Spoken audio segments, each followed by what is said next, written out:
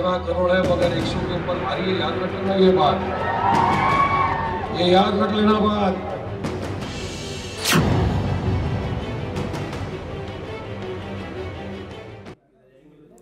Virus Pathan. जी हाँ इससे मुफीद शब्द इनके लिए हो ही नहीं सकता। जहरीली ज़ुबान से ये जनाब बातें संविधान की करते हैं। आज़ाद हिंदुस्तान में न जाने कैसी आज़ादी की मांग करते हैं। खुद को मुसलमानों का मसीहा समझकर न जाने क्यों इस कौम को बदनाम करते हैं। पंद्रह करोड़ को सौ करोड़ से भिड़ाने की बात कहकर नफरत का वायरस को फैलाने का काम वायरस पठान करते हैं। नमस्कार, स्वागत है आपका आर नाइन टीवी पर। दिन की बड़ी बहस लेकर हाजिर हूँ मैं, श्वेता भट्टाचार्य।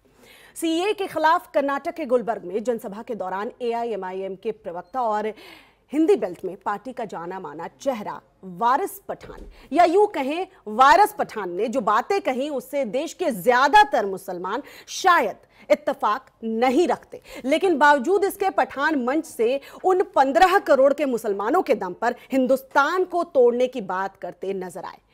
खुद ओवैसी को यह बयान रास नहीं आया तो उन्होंने पठान की बोलती बंद कर दी। लेकिन पठान ने अपने बयान पर माफ़ी नहीं मांगी। देश में नफरत का वायरस फैलाने वाले वायरस पठान या उनकी पार्टी ने देश के मुसलमानों का क्या ठेका ले रखा है? नफरत के नाम पर राजनीतिक रोटियाँ सेकने वाले नेताओं के साथ कैसा सलूक होना चाहिए? आज इन्हीं सवालों के जवाब हम तलाशेंगे। हम इस पर चर्चा करेंगे। तमाम मेहमान हमारे साथ जुड़ेंगे, लेकिन उससे पहले चलिए नज़र डालते हैं इस रिपोर्ट पर।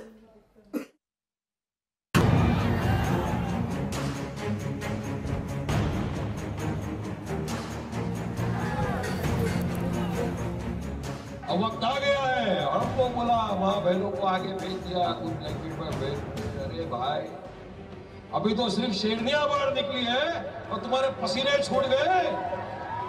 और समझ लो, अगर हम लोग साथ में आ गए तो क्या होगा पंद्रह करोड़ है, मगर एक सौ के ऊपर भारी याद रख लेना ये बात। ये याद रख लेना बात। नहीं नहीं, आप गलत समझ रहे हैं। मंच से मैदान में बुलाने का साहस करने वाले ये जनाब कोई गुंडे नहीं है। ये वारिस है। एआईएमआईएम के वारिस, असदुद्दीन ओवैसी के वारिस, या कहें भड़काऊ बयानों के वारिस तो गलत तो नहीं समझेंगे आप।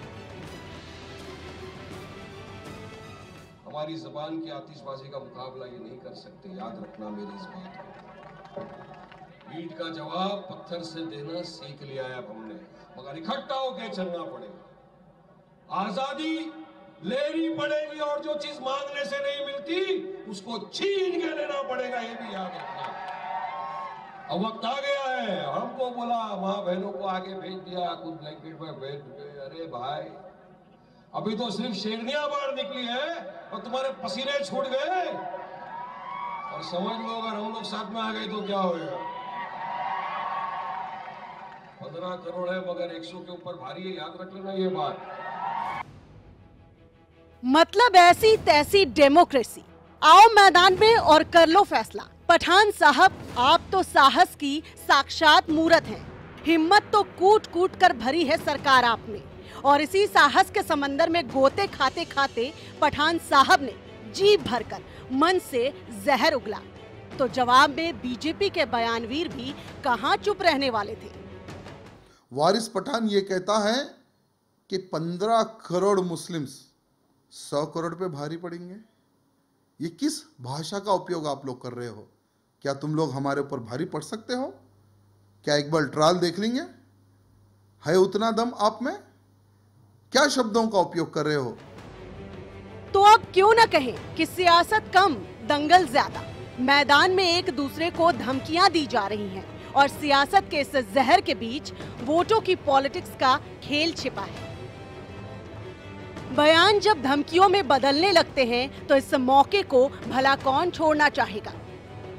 हिंदुस्तान में अपनी पार्टी का अस्तित्व क्या है? आप मुसलमानों के नेता नहीं है, आप एक गुट के नेता हो सकते हैं, वो भी आपके साथ नहीं है। मैं मानता हूँ इस देश का मुसलमान समझ चुका है।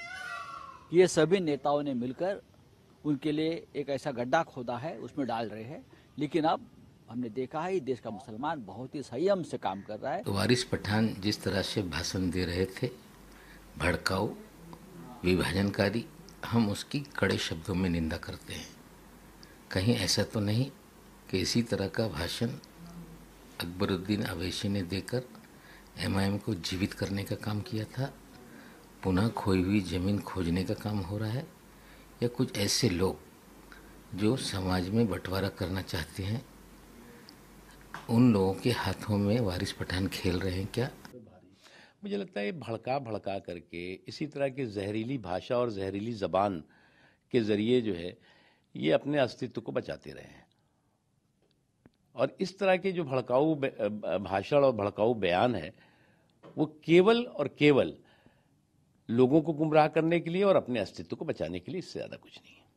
सीएए और एनआरसी के विरोध के बीच विवादित बयानों की बाढ़ सी आ गई है। और इस बाढ़ में नेताओं के बीच ऐसी रेस लगी है कि लोगों को भड़काने में कौन कितना काम आता है।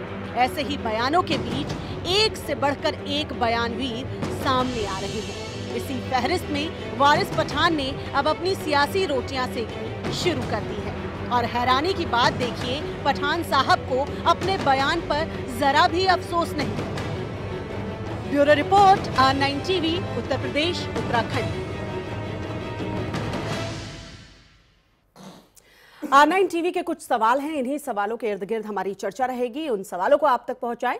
नेताओं के भड़काऊ बयान पर रोक आखिरकार कब लगेगी? क्या एआईएमआईएम ने मुस्लिमों का ठेका ले रखा है? क्योंकि पंद्रह करोड़ मुसलमानों की बात कर रहे थे वारिस पठान। वारिस पठान के बयान पर ओवैसी चुप क्यों है? जो एक्शन लिया गया, वो महज खाना पूर्ति नहीं कहेंगे तो और क्या कहेंगे? कब तक हिंदू मुस्लिम के नाम पर नेता सियासत करते रहेंगे? क्या अब सियासत करने के लिए कुछ बचा नहीं है नेताओं के पास? चलिए, इस पर चर्चा करेंगे और तमाम हमारे साथ गेस्ट जो हैं इस चर्चा में शामिल होंगे। उनसे आपका इंट्रोडक्शन कराती हूँ। कुछ गेस्ट इस वक्त हमारे साथ नहीं जुड़े हैं, लेकिन जो गेस्ट इस वक्त हमारे साथ स्टूडियो में मौजूद हैं, उनसे आपका इंट्रोडक्शन करा दूँ। बीजेपी के लीडर हमारे साथ कैप्टन आई सिंह इस वक्त स्टूडियो में मौजूद हैं। कांग्रेस के लीडर संजय गुप्ता हमारे साथ स्टूडियो में मौजूद है। वरिष्ठ पत्रकार अनिल मिश्रा और वरिष्ठ पत्रकार राहुल लाल हमारे साथ स्टूडियो में मौजूद है। साथ ही साथ मुस्लिम स्कॉलर मौलाना अली हैदर नकवी हमारे साथ स्टूडियो में मौजूद है। आप सभी का बहुत बहुत स्वागत है, सर। सबसे पहले नकवी साहब, आपके पास आना चाहूँगी। पंद्रह करोड़ को सौ करोड़ से भिड़ाने की बात, उस पंद्रह करोड़ में आप भी आते हैं, सर। इस बयान को कैसे लेंगे? देखिए, आपका ये, मैं बिल्कुल इस बात को नहीं मानूँगा कि पंद्रह करोड़ में मैं आता हूँ। कम अज़ कम मैं नहीं आता हूँ पंद्रह करोड़ में। दूसरी बात यह कि मैं देश जोड़ने की बात करता हूँ और जो जो देश को तोड़ने की बात या देश को बिगाड़ने की बात या आपस में, मतभेद रखने वाली बात करते हैं, वो बिल्कुल गलत है। ना उनका मुसलमानों से कोई ताल्लुक़ नहीं है।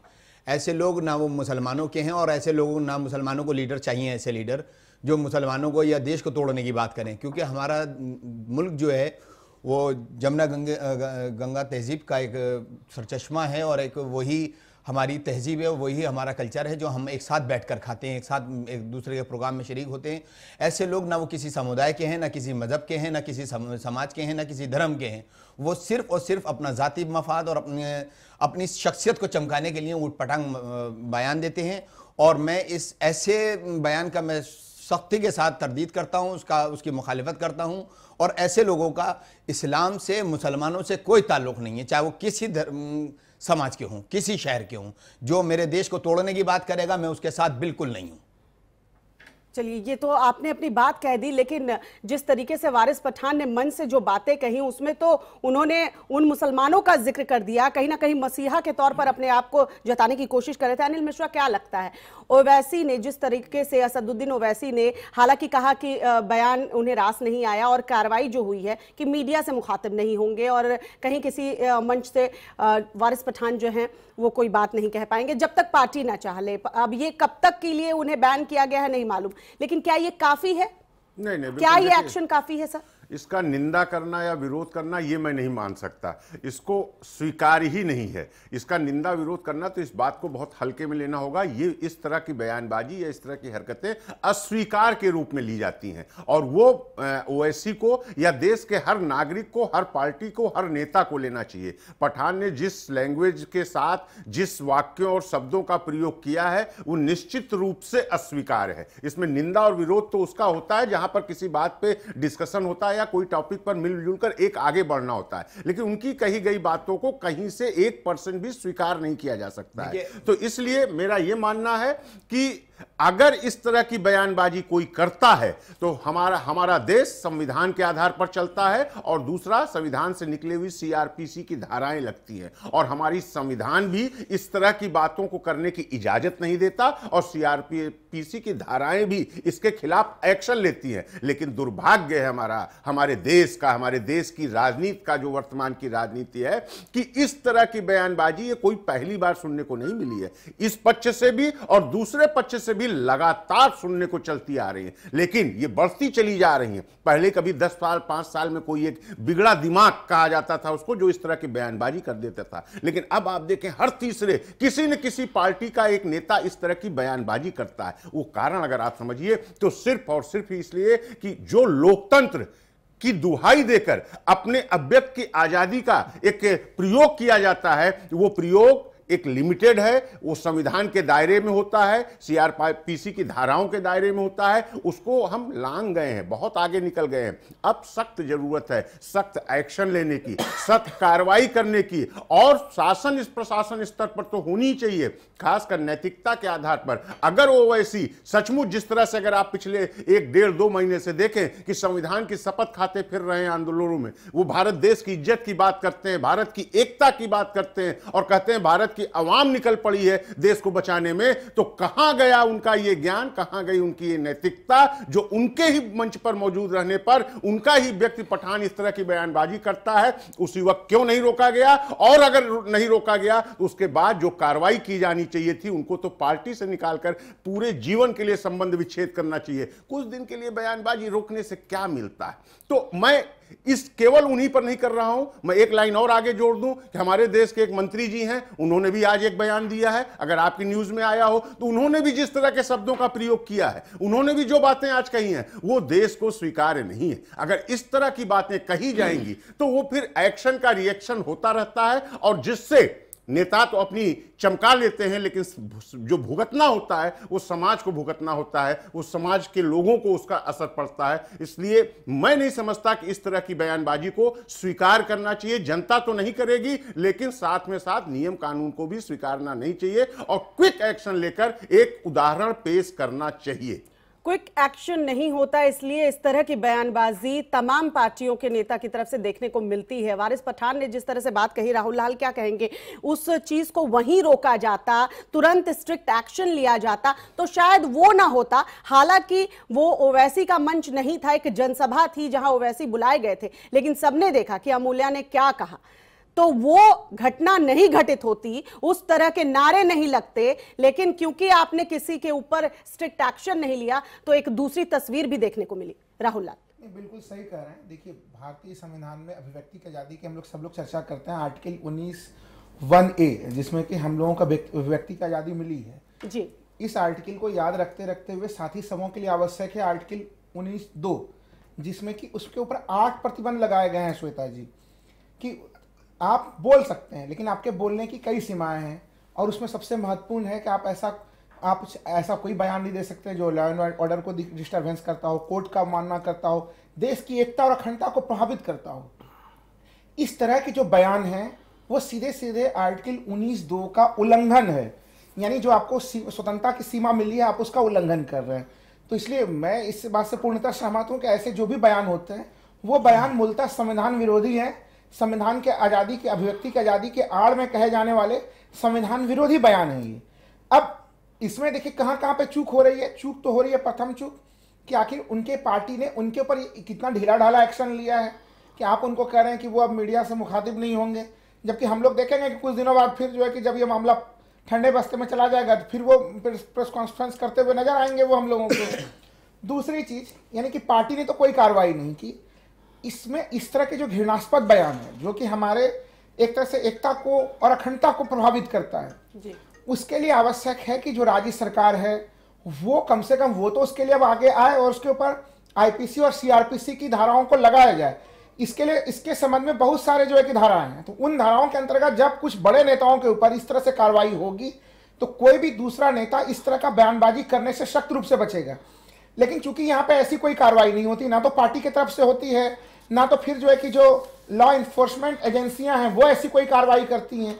तो इन लोगों को अंततः वही लगता है कि हम क्या कर रहे हैं। दूसरी चीज़, जो मैं समझ पा रहा हूँ इस पूरे मामले में कि दोनों धड़े की तरफ़, जैसा कि अभी अनिल जी ने कहा भी, कि दोनों तरफों से जो बयान आ रहे हैं, वो बयान काफ़ी गंदे किस्म के बयान आ रहे हैं।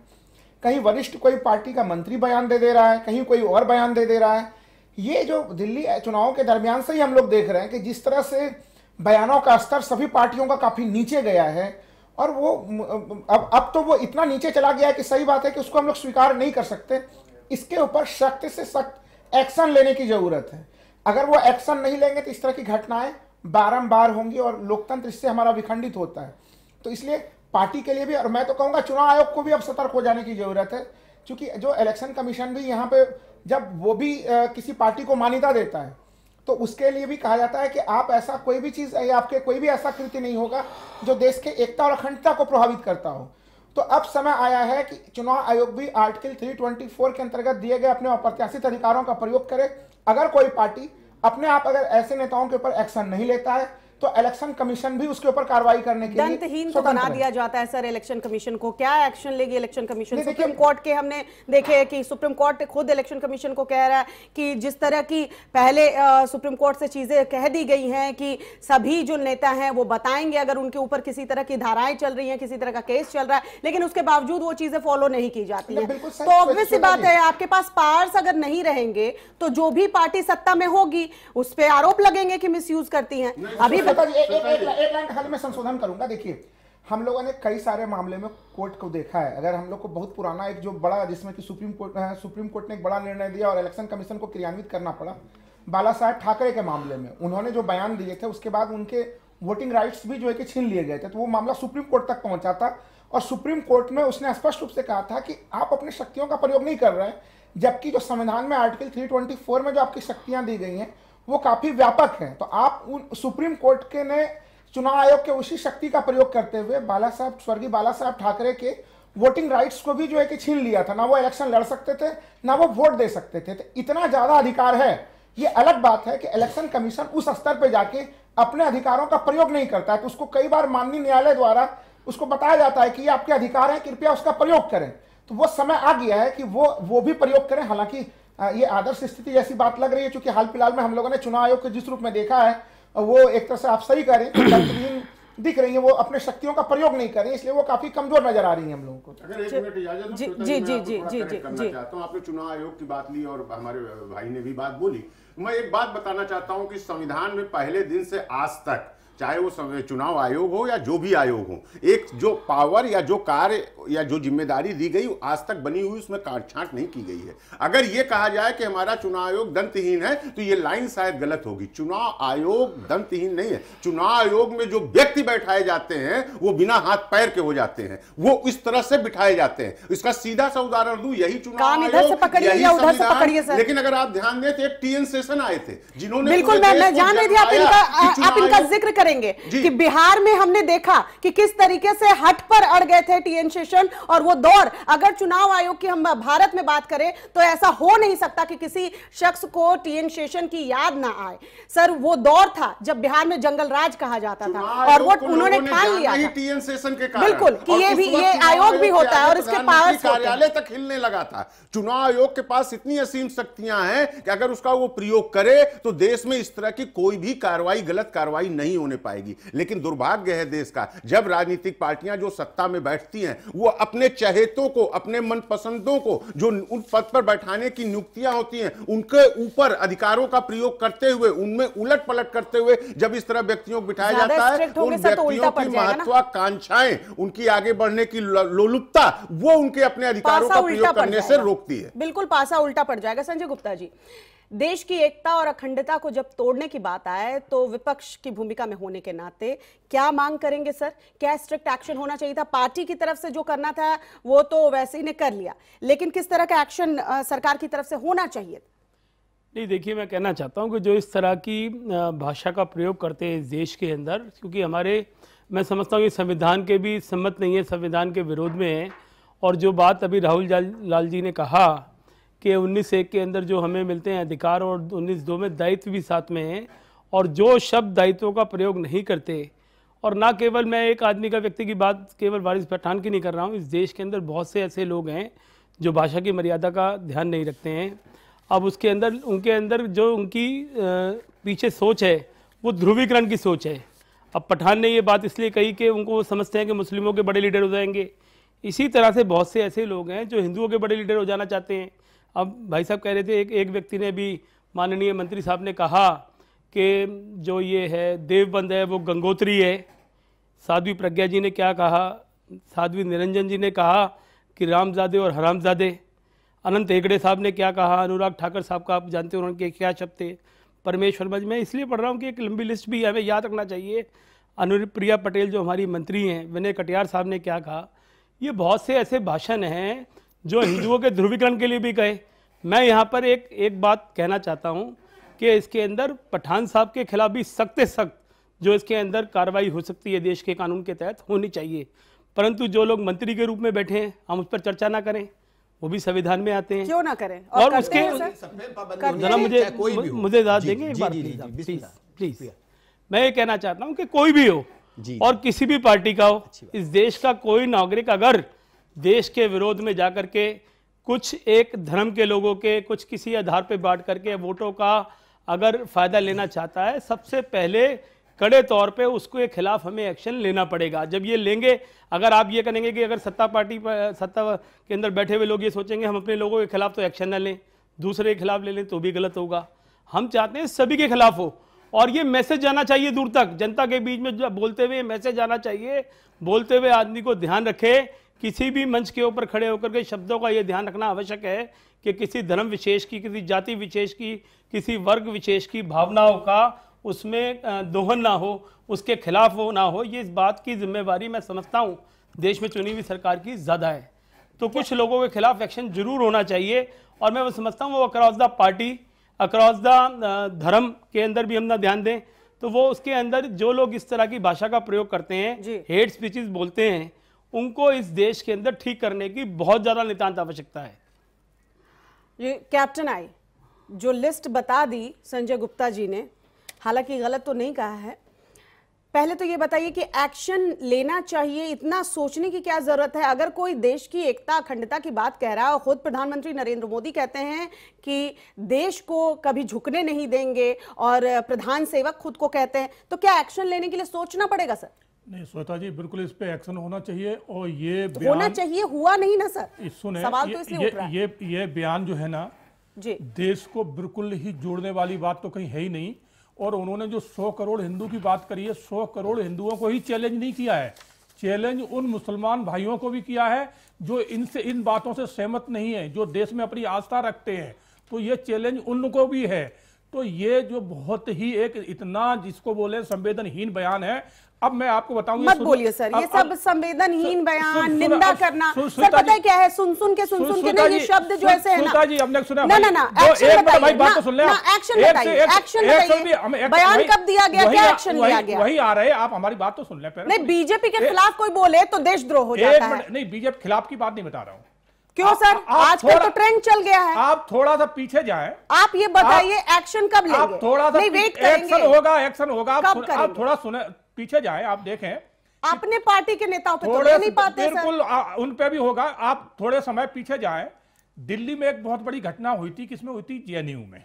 जिसमें कन्हैया कुमार और कुछ लोग और थे जिन्होंने वहाँ खुले आम और दुनिया ने देखा भारत तेरे टुकड़े होंगे इंशाअल्लाह। तब तक आप ए- ए- एक एक आप आप- हम बीच में नहीं बीच में नहीं बोले नहीं बीच में नहीं बोले आप सुने पहले बात सुने। बीच में नहीं बोले नहीं हम आपके बीच में नहीं बोले आप आप 2016 का तथ्य था वो। तो भले कभी का हो बात तो बात होती है आप बीच में बोले। मंत्रियों के खिलाफ आपने कोई एक्शन लिया?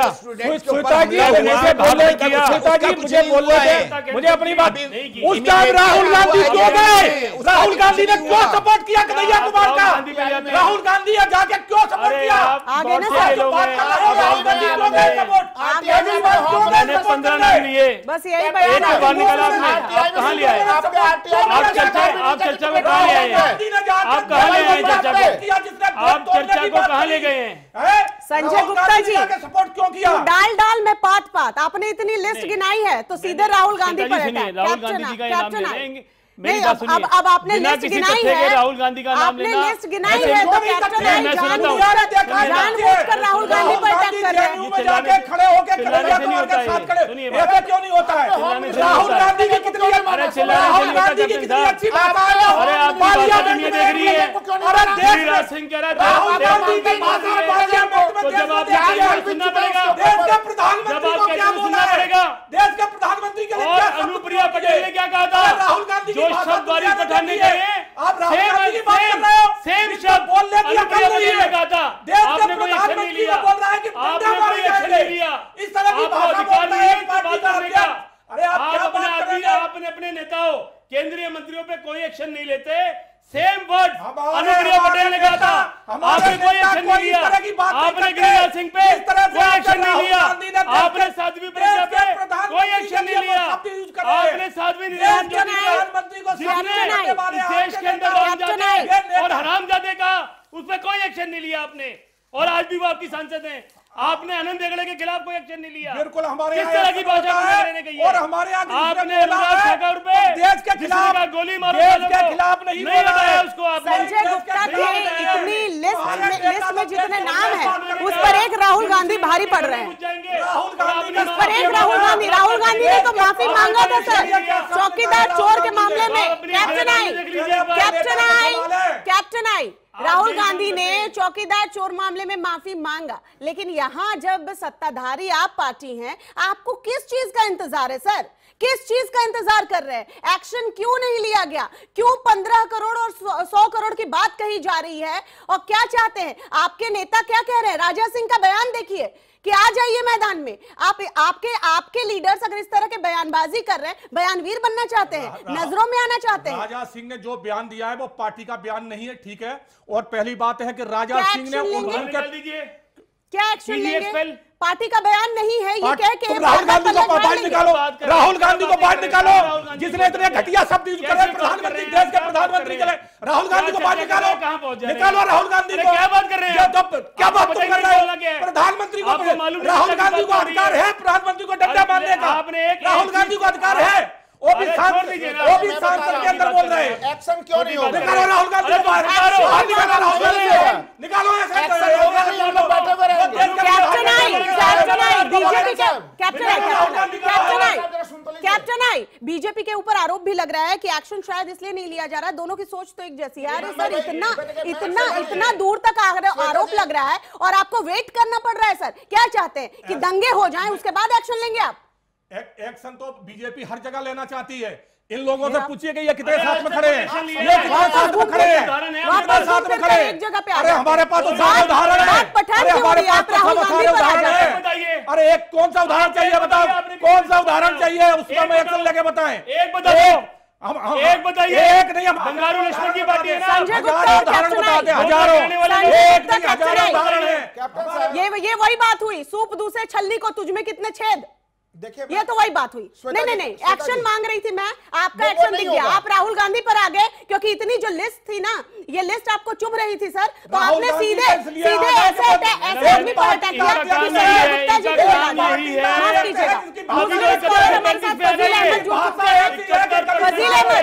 सुन रहे हैं इन लोगों को। सुन रहे हैं। अभी भी सियासत ही हो रही है। एक व्यक्ति एक व्यक्ति देश के टुकड़े होने की बात कर रहा है। देश के अंदर आज़ादी की बात कर रहा है। पंद्रह करोड़ का दम भरता है। एक मिनट एक मिनट एक मिनट एक मिनट एक मिनट कैप्टन आई आऊँगी आऊँगी आऊँगी आऊँगी आऊँगी आऊँगी आऊँगी रिएक्शन ले लूँ। फजील अहमद, सुन रहे ना? अभी भी सियासत ही हो रही है। ये जो रोटियाँ सेकी जा रही हैं, कब कब बंद होंगी, सर? ये हिंदू, मुस्लिम के नाम पर मतलब कुछ बचा नहीं है क्या देश में? आप क्या देश के और टुकड़े करेंगे? किस तरह की आज़ादी वारिस पठान को चाहिए? और किस तरह के एक्शन लेने के लिए इन लोगों को वेट करने की ज़रूरत आन पड़ रही है? क्यों एक्शन लिया नहीं जा रहा है? फजील अहमद।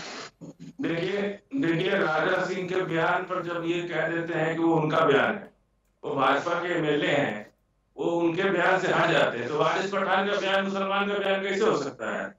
वारिस पठान का निजी बयान हो सकता है। देश के मुसलमान का बयान थोड़ी हो सकता है। ये लोग इस तरह से, ये तो इनके लिए तो आरिफ पठान जैसे लोग बहुत उपजाऊ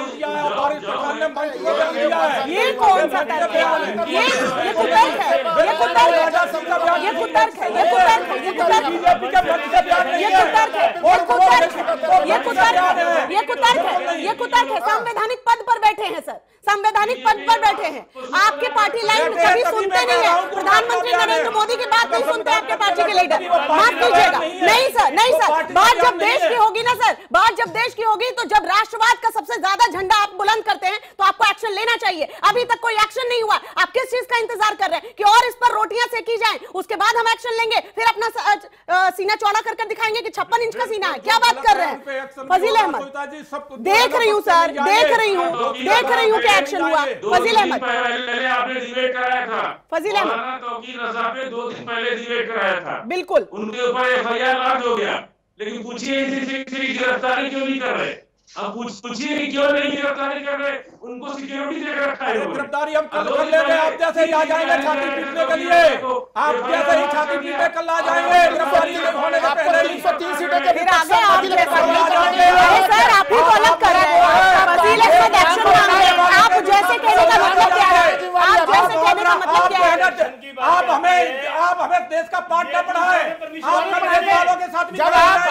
सत्ता है और सत्ता है तो हैं, आप उनके साथ खड़े हो जाते हो जाके आप लोगों को बदलने में टाइम नहीं लगता अच्छी है शासन आपकी ढिलाई से नहीं चलता है आपकी मनमर्जी से नहीं शासन चलता है शासन सब- सबकी मर्ज़ी से चलता है। सबके प्यार और स्नेह से चलता है। सबके चलता है। अगर नहीं पढ़े तो दूसरी जिन लोगों को शासन चलाना आता है। उनसे सीखना चाहिए आपको। आपको साथ में बहुत अच्छा लगता था जो डेली घोटाले हो रहे थे। टू जी घोटाला थ्री जी घोटाला जी जी घोटाला। वो शासन अच्छा था। वो शासन अच्छा था। आज आपको ज़िम्मेदारी मिली आप तो बताइए कि हैं। आप क्या कांग्रेस के बारे में हैं। भारत ज़िम्मेदारी हटा रहे हैं तभी तभी भारत को एक बनाया है। तभी भारत को एक बनाया है। कश्मीर से लेकर कन्याकुमारी तक भारत एक है। का भारत एक है। कश्मीर से लेकर कन्याकुमारी एक सच्चाई दिखती नहीं किया।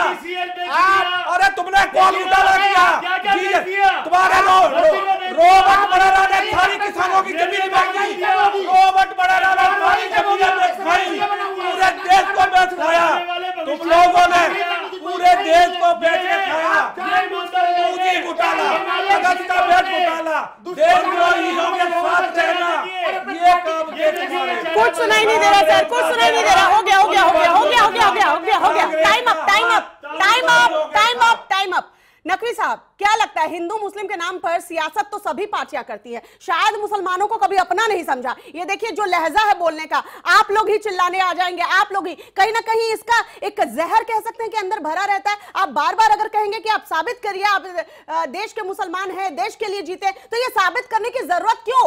क्यों हर पार्टियाँ ये सियासत करती हैं, मुसलमानों को टारगेट करती हैं? और कब ये मुस्लिम समझेंगे कि ये नेता जो हैं, जो उनके दम पर 100 करोड़ की जनता से भिड़ाने की बात कर रहे हैं, ये 15 और 100 करोड़ मिलाकर हम बन रहे हैं, सर। ये जो 130 करोड़ की जनता की बात होती है, वो हिंदुस्तानियों की बात होती है। वो हिंदू, मुस्लिम, सिख, ईसाई सभी एक एक साथ रहते हैं, तभी हम हिंदुस्तान की बात करते हैं। ये कब समझेंगे, सर? नकवी साहब। देखिए, मेन चीज़ ये है कि मैं ये समझता हूँ कि पहली बात तो हम तमाम मुसलमान एक हैं और हम मुसल, हम मुसलमानों को नागरिकता साबित करने की ज़रूरत नहीं है।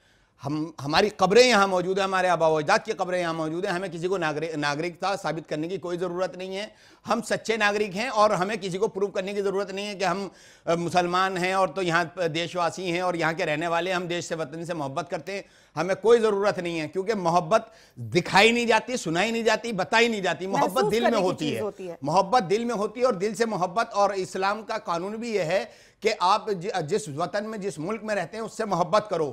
मोहब्बत करना जुजवे ईमान है। और दुनिया हिंदुस्तान का हर मुसलमान जानता है कि कोई उनका कोई हमनवा नहीं है कोई ऐसा कोई लीडर नहीं है। सिर्फ़ अपनी सियासी रोट, रोटियाँ सेकते हैं लोग और इस्तेसाल करते हैं फ़ायदा उठाते हैं मुसलमानों से उसके अलावा कुछ नहीं होता। निपटने के लिए कोई एक्शन तो होना चाहिए ना। नकवी साहब इसलिए पूछ रही हूँ क्योंकि फतवा तो आप लोग जारी कर देते हैं। सानिया मिर्ज़ा पे हमने देखा फतवा जारी कर दिया। अब भाई उनको खेल खेलना है तो वो तो बुरके में नहीं खेलेंगी ना। लेकिन उस वक्त फतवा जारी हो जाता है। जब ऐसे मुसलमान लीडर आके बोलते हैं तो इनका मुँह क्यों नहीं बंद किया जाता? इन्हें क्यों नहीं बर्खास्त किया जाता? इन्हें क्यों नहीं हटाया जाता है। जनता इन्हें नकारती क्यों नहीं है? आई आर नाइन चैनल से खुले अलग ऐलान इस बात को कह रहा हूँ जहाँ तक ये मेरी आवाज़ आ रही है मैं वारिस पठान का बाइकाट करता हूँ मुसलमानों से, वो मुसलमान नहीं है, क्योंकि जो देश को बांटने का की बात करे, जो देश को तोड़ने की बात करे, जो आपस में लड़ाने की बात करे, वो मुसलमान नहीं हो सकता, नहीं हो सकता, नहीं हो सकता।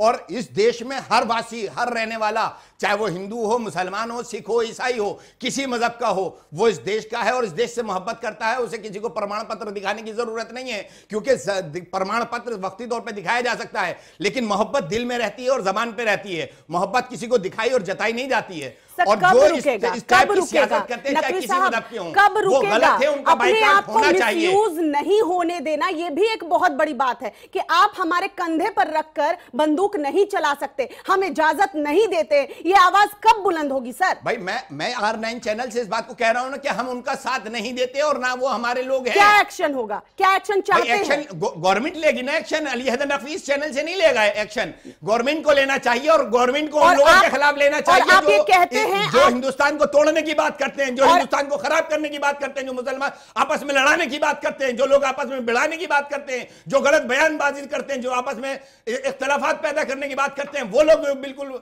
गलत हैं और उनके खिलाफ एक्शन होना चाहिए गवर्नमेंट का एक्शन होना चाहिए और सख्त से सख्त होना चाहिए ताकि उनकी किसी और लीडर की किसी और सियासी आदमी की क्या किसी शख्सियत की कोई ज़रूरत ही ना हो कि वो इस तरह से बयानबाजी करे या अपनी शख्सियत चमकाए। ऐसे लोगों के खिलाफ एहतजाज होना चाहिए आवाज़ उठनी चाहिए और कानूनी कार्रवाई सख्त से सख्त होनी चाहिए। फजील अहमद कितना इतफाक रखते हैं?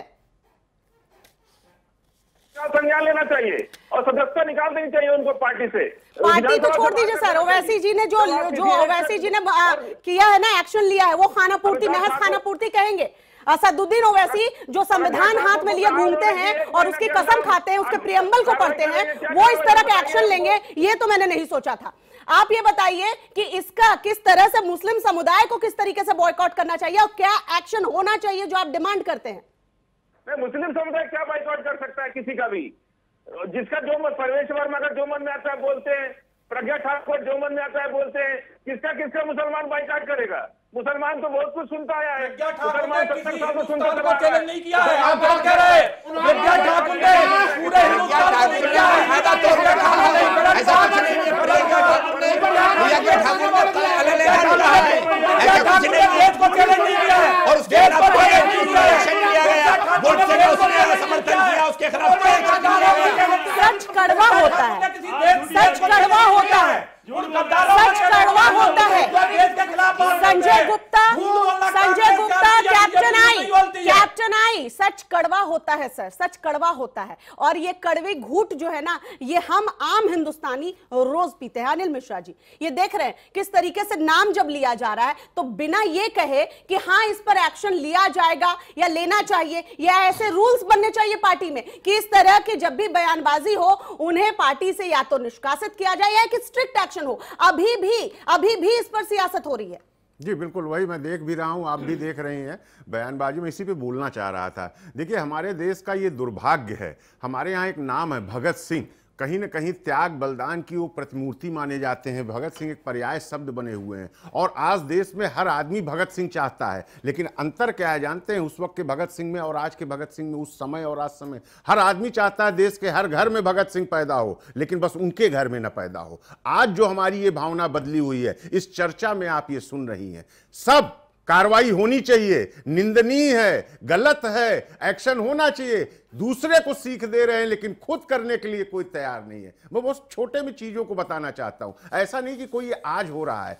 हुआ, गाहे बेगाहे, पहले भी होता रहा है। लेकिन विगत सात आठ सालों की राजनीति में आप देखें तो ये जिस तेज़ी से बढ़ा है, जिस हर दूसरे, तीसरे एक बयानबाजी होती है कि उसकी एक पूरी फहरिस्त बन गई है। तो वो क्यों हो गई है? उसके पीछे सिर्फ़ यही है कि मेरे घर में भगत सिंह नहीं होगा, लेकिन आप अपने घर में भगत सिंह पैदा कर लो। वो त्याग दे दे, जान छोड़ दे, बलिदान कर दे, मैं अपना करने को नहीं तैयार हूँ। बहुत छोटा सा उदाहरण दे रहा हूँ इसको, आईपी सिंह साहब, अन्यथा न ले। मैं और बाकी मुद्दों को छोड़ते हुए प्रज्ञा ठाकुर प्रज्ञा ठाकुर सांसद हैं, माननीय हैं, आज की डेट में नियमता लेकिन प्रज्ञा ठाकुर ने दो बार जिस तरह की बातें कही, पूरे देश में सामने संसद से लेके बाहर तक, जिससे प्रधानमंत्री इतने आहत हुए कि उनको बयान देना पड़ा कि मैं ठीक है, इस तरह तो मान लेता हूँ उनकी माफ़ी को, लेकिन मैं दिल से कभी उनको माफ़ नहीं कर पाऊँगा।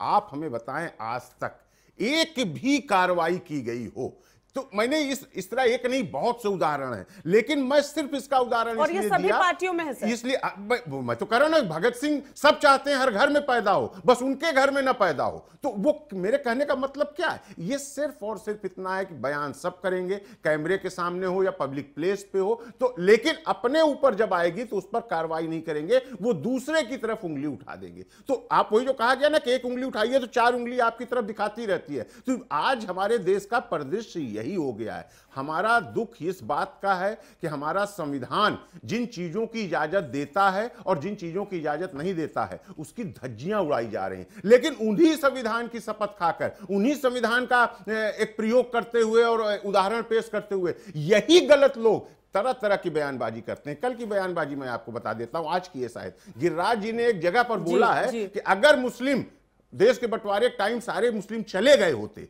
तो आज हमारे देश के हालात कुछ और होते। जी, आप पहले भी बोल सोचें, चुके हैं। एक पठान मैं कहता हूँ हंड्रेड परसेंट गलत है और अगर उनको फांसी भी दी जाए तो गलत नहीं है जो देश के खिलाफ इतना बोले। लेकिन अगर हमारे देश का एक मंत्री अदर कंट्रीज़ में होता है तो सर अदर कंट्रीज़ में आप बोल दीजिए देश के खिलाफ तुरंत आप पर एक्शन होगा। मैं- मैं और कोई कोई इंसान उसके खिलाफ आवाज़ नहीं उठा सकता। मैं यही बताना चाह रहा था कि अगर एक के बाद एक लोग बोलते चले जाएँगे सीढ़ियाँ पे सीढ़ियाँ चढ़ते चले जा रहे हैं जो जिम्मेदार पदों पर बैठे हुए हैं। तो वारिस पठान हो या जो इस तरह के लोग हो जो गैर जिम्मेदाराना पदों पर बैठे हैं उनमें तो होड़ लगती है कि तुम उससे आगे कैसे निकल गया। उसी चीज़ों का ये परिणाम देश को देखने को मिल है। रहा हूँ देखिए। असल में सारी पार्टियों को देखिए का, पार्टियाँ काम करने से मूलभूत चीज़ से बचती हैं। अब देखिए मुसलमानों के हितैषी बनने के इतने सारे लोग अगर दावे कर रहे हैं फिर सच्चर समिति की कमेटी की रिपोर्ट में इतने उनकी खराब स्थिति क्यों दिख रही है? तो आप एक तरह से हर कोई जैसे भारतीय जनता पार्टी को ले लें वो पोलराइजेशन करने में लगी हुई है वो अपने मंत्रियों की तरफ़ से बयान दिलवा रही है। आप, वो अपने मंत्रियों की तरफ़ से बयान दिलवा रही है। दूसरी तरफ़ साल में कांग्रेस ने मुसलमानों के लिए क्या तो किया? तो जो अपना वोट बैंक बता रहे सत्तर साल में तो लीजिए पहले। ने कांग्रेस सच्चाई ने? हमेशा सुन- क्या किया कांग्रेस ने? आप अपना कांग्रेस ने नहीं किया। क्या किया? कांग्रेस ने नहीं तो किया। कांग्रेस ने नहीं किया। किया मुसलमानों कांग्रेस ने नहीं किया अरे जो हमने तो में समिति की मुसलमानों किया में समिति किया। आपने क्या किया बता रही है? मुसलमानों को स्थिति ये है। आपने आप अपना वोट बैंक समझा है। आपको सच्चाई वोट बैंक समझा प्रमोट आप कार्रवाई क्यों नहीं कर रहे हो? आप जानबूझ के बयान दिलवाते हैं आपसे। अरे आपको सब बयान दिलवाते हैं मोदी जी का जो कहना है मोदी जी का मोदी जी का विकास मोदी जी का कहना था पार्टी के लोगों के पे भी कार्रवाई कीजिए और उधर भी कार्रवाई कीजिए आईपीसी में दोनों तरफ़ हो रही है। दो दर्जन धाराएँ हैं आईपीसी में। हम विकास आईपीसी में दो दर्जन धाराएँ हैं। लोगों के भावनाओं को बढ़ाने से और देश के एकता करने को तोड़ने के लिए। हमने सोचा आप उन धाराओं तो पर हिंदू कार्रवाई कीजिए। मुसलमानों केवल को ऐसा नहीं किया है। है आप बताइए ना आप वारिस पठान पे कब कार्रवाई कीजिएगा? दो दर्जन धाराएँ हैं आईपीसी में। आप नहीं करेंगे। पठान मैं दावे के साथ करता हूँ। नहीं है अरे भाई पठान अरे भाई कानून चलाने की जिम्मेवारी तो आपको मिली है ना? और संविधान चलाने की जिम्मेवारी किसको मिली हुई है? आप अपनी शक्तियों का प्रयोग नहीं करेंगे। सिर्फ़ और सिर्फ़ ये कौन क्या का चरित्र है। क्या आपको सच्चाई से नकली पठान को सजा मिलनी चाहिए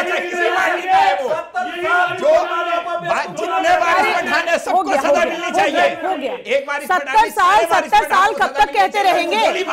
कैप्टन आई तो कब तक कहते रहेंगे? नकवी साहब क्या केवल मुसलमान एक वोट बैंक पॉलिटिक्स बन के रह गए हमारे देश में? क्या हिंदुस्तान में क्या हिंदुस्तान गन्ने हम भर रहे हैं। कांग्रेस कांग्रेस ने जो कांग्रेस के घोटालों को रहे हैं कांग्रेस ने हिंदू मुसलमान को भर रहे हैं। कांग्रेस के किए हुए किए हुए अरे आप क्या बात करोगे? अरे क्या बात करोगे? वो वो कांग्रेस का काम है कांग्रेस का काम अरे भाई कांग्रेस का काम कांग्रेस का काम संजय गुप्ता जी संजय गुप्ता जी शाहबानो केस भी हमें याद है। शाहबानो केस भी याद है। कांग्रेस कांग्रेस का डिसीज़न भी याद है। राहुल लाल राहुल लाल सत्ता में बैठी एक मिनट कैप्टन आई। सत्ता में बैठी हम बीजेपी को घेर रहे हैं क्योंकि हम एक्शन चाह रहे हैं। लेकिन बार बार संजय गुप्ता जी भी जिस तरीके से बातें उठा रहे हैं तो शाहबानो का केस भी हमें याद है। देखिए, नहीं ये ये ये कब ये कब चालू हुआ था? नहीं नहीं आप समझा दीजिए सर मुझे। मैं खाली बोल दे रहा हूँ देखिए कैप्टन साहब ने हमारी बात को पूरी नहीं होने दी। मैं यही कह रहा था कि पार्टियाँ देखिए जो भी आई हैं पार्टियाँ पहले की पार्टी अभी की पार्टी हम लोग वोट हो है।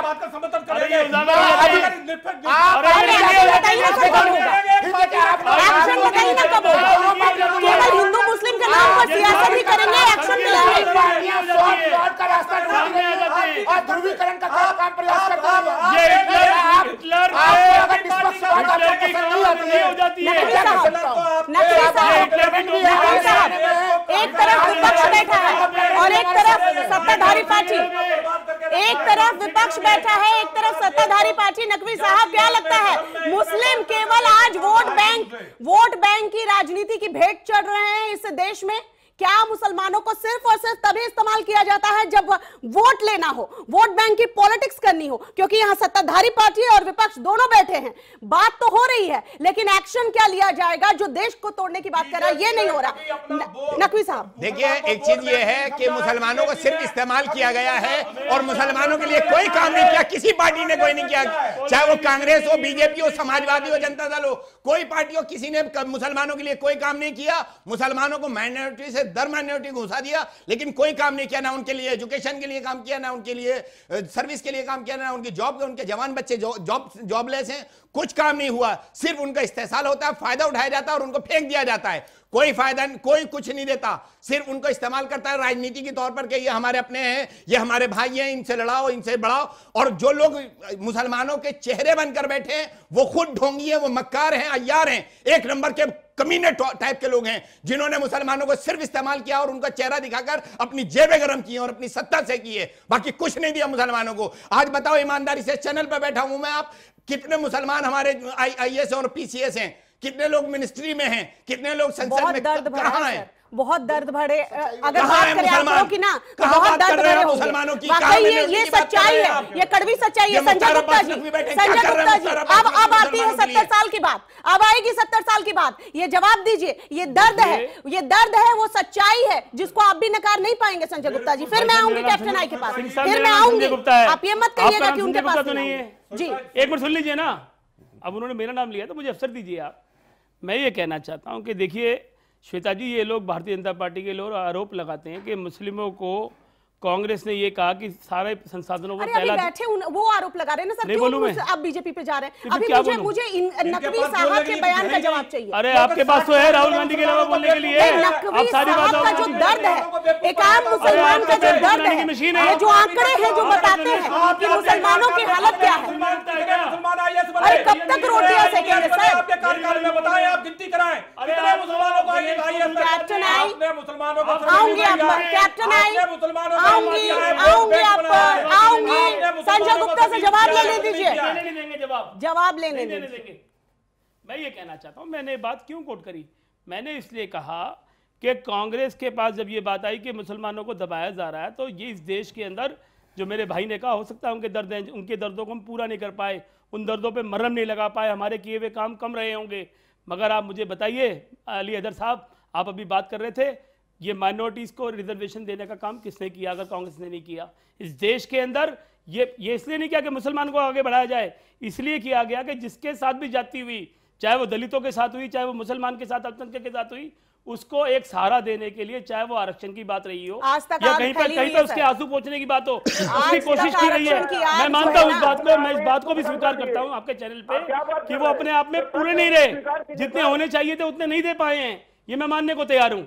मगर उसके बावजूद भी मैं कहूँ बड़ा दिल दिखाया सर बड़ा दिल दिखाया सर हुए बड़ा तो दिल सरकार को देख लीजिए आज आपने माना तो सही 11 कि मंत्रियों के नाम दे नहीं पाए जितना देना था ये ये ये चीज़ पहले पहले लोगे। में आ गई होती ना तो तस्वीर ग्यारह लोगों के मैं नाम ले रहा हूँ इन्होंने एक बताइए राहुल गांधी ने कभी किसी हिंदू के लिए कहा हो किसी मुसलमान के लिए कहा हो आपका स्तर नहीं है बोलने का आपको अधिकार नहीं है हैं आपने ग्यारह व्यक्तियों के खिलाफ ग्यारह अरे ग्यारह आदमी। रक्षा मंत्रालय ने ग्यारह आदमी कर लिया।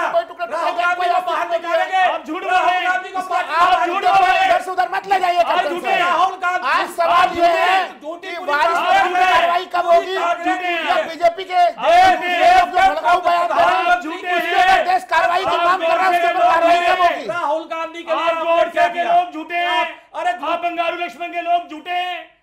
आप इस देश में आप- आपका करने वाले आपका जो झूठे लोग हैं। वोट पड़े भाई से भाई को बांटने वाले फिर कहाँ चले झूठे जा लोग हैं? कहाँ चले जा रहे।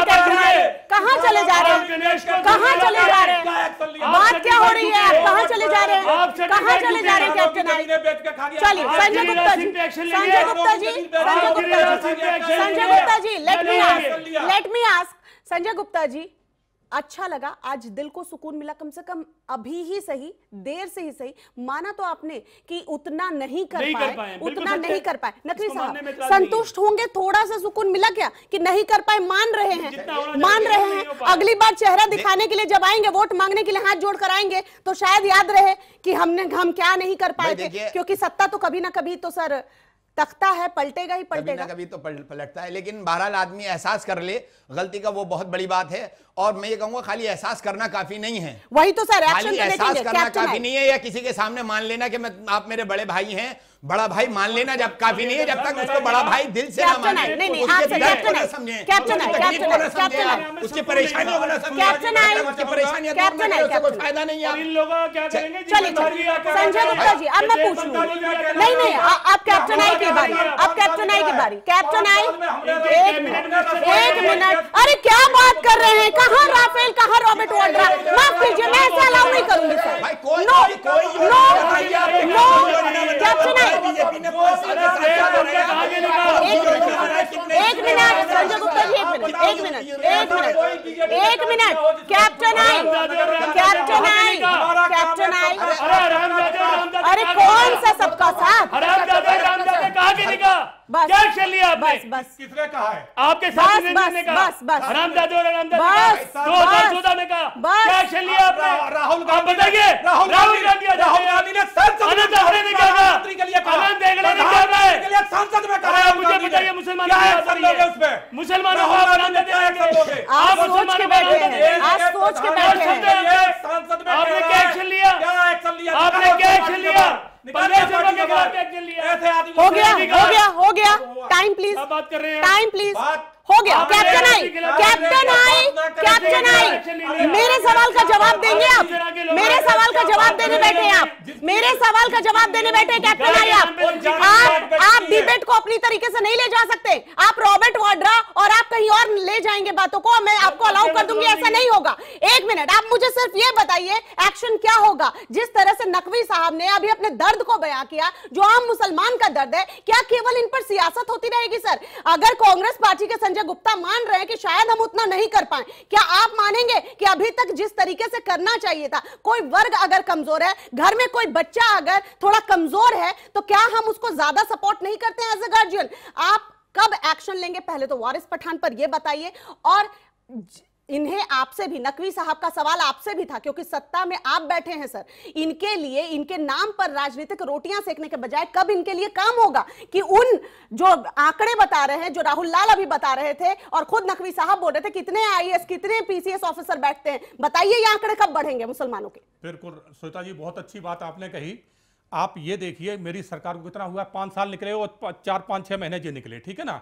इस दौरान आप हमारी जितनी भी योजनाएँ देखें कोई ऐसी योजना नहीं है जिसमें हमने मुसलमान को दर, दर अंदाज न, किया हो नजरअंदाज नहीं किया किसी को ठीक है ना? ए, एक मिनट सुने मैं प्यार से सुनता हूँ तो आप लोग भी सुनो। ये तो एक ही योजना तो अरे फिर चिल्लाना है तो चिल्ला ही लो फिर चिल्ला लो डिबेट में चिल्ला लो ना किस योजना कौन सी? मुसलमानों को एक योजना बताओ जिसमें हम आप तुम्हें नहीं लिया। आप। नहीं हमें हमें तो योजना का नहीं पता कि आपने किस कौन सी योजना पेश की आप एक योजना बताएँ जिसमें आपने मुसलमानों को इसमें शामिल किया है। आप बताएँ ना आप बता रहे हैं कि हमने योजना में शामिल किया। आप बताएँ किस योजना में शामिल किया मुसलमानों है। खाली। खाली। दावे कुछ नहीं होते। सियासी सिक्के चलाना कुछ नहीं है भाई से भाई को बांटा है केवल। बोलो बोलो बोलो आप लोग हम बंद हो गए। आरक्षण के बनता चार लोग चार लोग एक बात कह रहे हैं। मेरी बात टाइम कम है। टाइम कम है प्लीज़ प्लीज़ नकवी साहब और संजय गुप्ता मेरे पास टाइम की कमी है। कैप्टन आई मुझे सिर्फ़ इतना बताइए एक्शन कब होगा? एक्शन कब होगा captain I captain I Naqvi साहब नकवी साहब नकवी साहब नकवी साहब मेरे पास टाइम है। एक मिनट नकवी साहब नकवी साहब नकवी साहब नकवी साहब नकवी साहब बिल्कुल गलत कर रहे हैं। सर वक्त की कमी है। वक्त की कमी है। देखिए यही चाहते हैं सियासी पार्टी। यही चाहते हैं सियासी पार्टी कि आप आप इन इनके कहे बातों में उलझे रहे। ये कहे अपने बातों में उलझे रहे। संजय गुप्ता जी। संजय गुप्ता जी एक एक नकवी साहब नकवी साहब एक मिनट एक मिनट एक मिनट एक मिनट एक मिनट एक मिनट। मुझे मुझे मुझे चर्चा खत्म करनी है। एक minute please please please Sanjay Gupta ji please Sanjay Gupta ji और प्लीज़ मुझे शो वाइंड अप करना है इसलिए मैं एक जवाब चाहती हूँ कि कैप्टन आई बताएँ वारिस पठान पर एक्शन कब लिया जाएगा? बिल्कुल श्वेता जी आपने कहा एक्शन जो है ना जाएगा सर? ज- ज- ज- उसकी जाँच होगी कब जाँच बिगर- होगी, बिगर जाँच के बंद करवा दे दें। बोला गया बिगर जाँच के बंद करवा दे दें। की बात कर रहे हैं बिगर जाँच के बंद करवा दें क्या? एक पहला एक्शन लेना चाहिए उसकी पार्टी को उसे पार्टी से बाहर निकालना चाहिए। ठीक है? फिर आप- आप सरकारों आप क्या करोगे? एक्शन नहीं होगा। आप यही कहना चाह रहे हैं। पार्टी पर आ गए ना सर पार्टी का एक्शन हमने देख लिया। इसलिए हमने कहा देश तोड़ने की कोई बात कर रहा है पंद्रह करोड़ को सौ सौ करोड़ से भिड़ाने की बात कह रहा है और आपको वेट करना है क्या फ़ायदा देख रहे हैं बिल्कुल नहीं बिल्कुल नहीं कोई फ़ायदा देख रहे नहीं है। हम तो बता दीजिए सर, एक्शन नहीं ले होगा? कांग्रेस कांग्रेस कहे कि अक्सर लोग बस साथ में है। अरे कल ये में आप हैं। कल ये छाती लग हिंदू मुस्लिम के नाम पर देश में सियासत हमेशा से होती रही है। लेकिन बात जब देश की एकता और अखंडता पर आ जाए और एक्शन ना लिया जाए तो वाकई में सवालिया निशान न सिर्फ़ ओवैसी पे खड़े होते हैं, जिन्होंने महज खाना पूर्ति की। एक्शन नहीं लेने पर सत्ताधारी दल पर भी सवाल उतने ही खड़े होते हैं। तमाम गेस्ट मेरे साथ चर्चा में शामिल हुए आप सभी का बहुत बहुत शुक्रिया। इसी पॉजिटिव नोट के साथ मैं यहाँ शो को खत्म करूँगी। इसी पॉजिटिव नोट के साथ मैं शो को यहाँ खत्म करूँगी कि मज़हब नहीं सिखाता आपस में में करना। हिंदी है वतन के हिंदुस्तान हमारा। तो वाकई में जो आम जनता है ना, जो 130 करोड़ की जनता है, वो जानती है कि हमें आपस में एक कैसे रहना है। इनकी सियासी रोटियाँ हम सिकने नहीं देंगे। ये हमें याद रखना है। सियासत है, करते रहिए आपके। जब आप पर बात आती है तो आप दूसरे पर डाल देते हैं। आपकी सियासत चमकती रहे, लेकिन हम हिंदुस्तानी एक थे, एक हैं और एक रहेंगे। इसी पॉजिटिव नोट के साथ चर्चा में बस इतना ही। दीजिए इजाज़त, आप देखते रहिए। आ नाइन टीवी, सिर्फ़ खबर के लिए।